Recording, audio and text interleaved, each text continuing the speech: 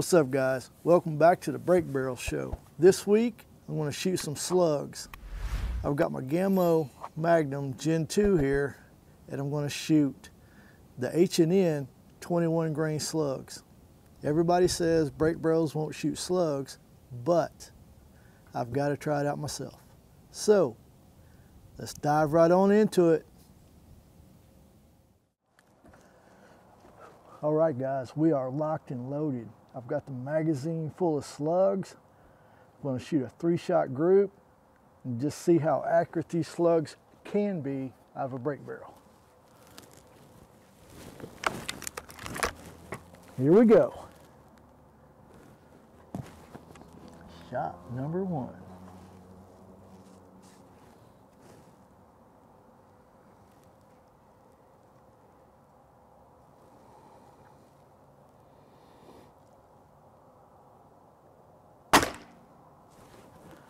Well, that's promising. Can't beat that, especially first shot. Next will probably be all downhill. That's the way luck is. Shot two.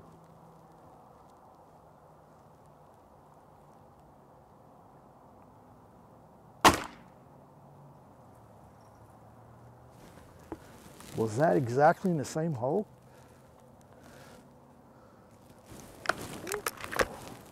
Here we go, shot three.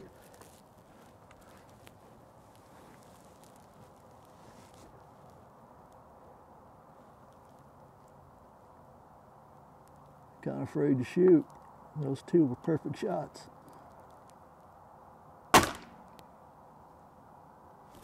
Wow. Um, that's 25 yards. Slugs, 21 grains through a break barrel that I wasn't supposed to do that.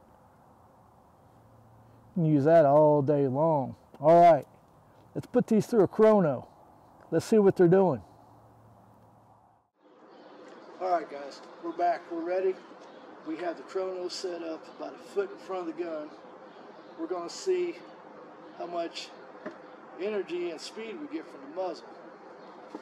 Those uh, slugs remember 21 grains.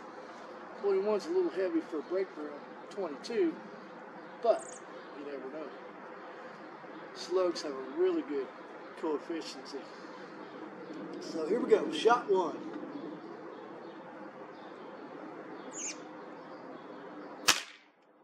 Seven thirty-four. That's not bad. Shot two.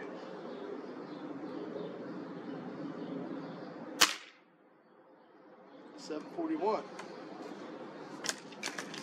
Shot three.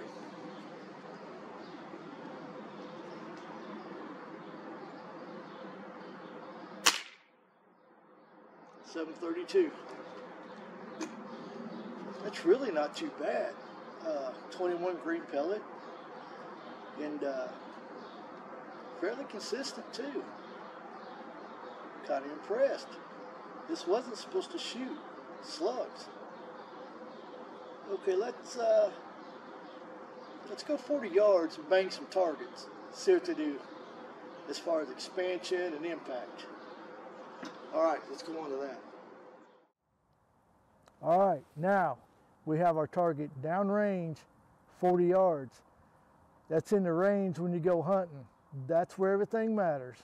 I've got three targets, a battery, 5 eighths piece of uh, particle board and a monster can. It's full of water. So should be different types of impacts and hopefully I can hit all three. I literally have only three slugs left. So no pressure, huh? Here we go.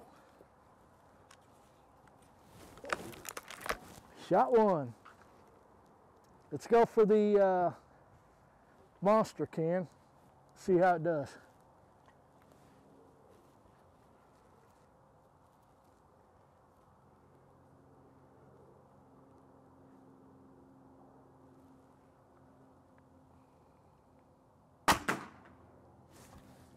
Well, that was a solid impact. Let's go for that uh, piece of wood.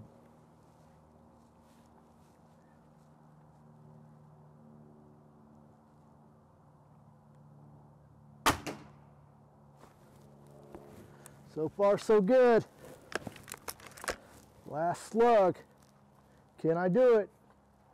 Is the accuracy good enough to take out that battery? Whew, 40 yards. That looks like a small battery too. Here we go. No pressure.